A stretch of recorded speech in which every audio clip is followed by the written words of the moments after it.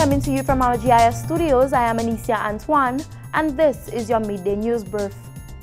St. Lucia is expected to record economic growth of 3% this year, with the Barbados-based Caribbean Development Bank, CDB, saying that the growth appears poised to increase in large part due to private and public sector construction programs coming back on stream. In its Country Economic Review 2018 St. Lucia, the region's premier financial institution said that tourism activities are projected to expand and agricultural output will remain buoyant. It said the collections from the Citizenship by Investment program were particularly strong. September 2018 figures indicate a more than sevenfold rise to US 60.2 million from 7 million US dollars for the same period a year earlier. Public sector debt was estimated to be 67.8% of GDP at the end of 2018, slightly down from 68.5% a year earlier. The impact natural disasters can have on an island's national social protection system came in for thorough discussion recently at the Ministry of Equity, Social Justice, Local Government and Empowerment.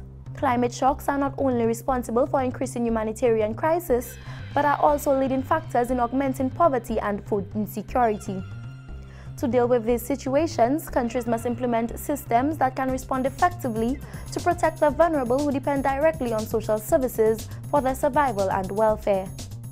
The ministry is examining the issue in partnership with the United Nations World Food and the Caribbean Disaster Emergency Management Agency, CDEMA. On Saturday, 23rd March, newly installed lights were officially turned on at the Balata playing field. The occasion was celebrated with the hosting of a cricket match between the constituencies of Castries North and Babonneau. Castries North was managed by Honorable Stevenson King and Senator Hermangild Francis, with Honorable Dominic Fedee and host MP Honorable Ezekiel Joseph playing for the Babonneau team along with many talented players. In the end, Babonneau came out victorious. Minister for Education, Gender Relations and MP for Micoud North, Honorable Gail Rigobert, has officially opened the newly constructed recreational park in the community of Mon Repos.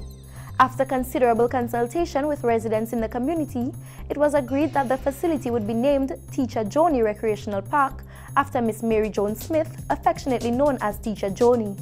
Teacher Joni has touched hundreds of lives in Mon Repos, having begun her teaching career at age 18. The St. Lucia Tourism Authority, SLTA, has launched its newest marketing campaign, Limitless St. Lucia.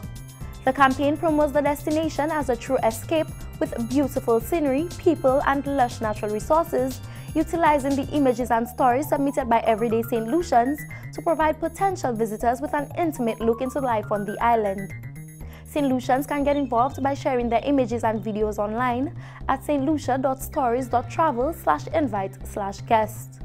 The St. Lucia Tourism Authority will bring these stories to the world by promoting the campaign through social channels, media placement, and press releases. This has been your midday news brief. I am Anicia Antoine. Thank you for watching.